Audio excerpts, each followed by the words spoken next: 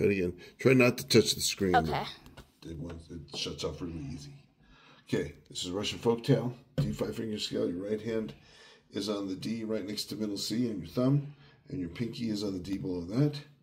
And then at the end, your hand moves up an octave to this D5 finger scale up here. Starting here though, on D. One, two, ready, go. One, two, three.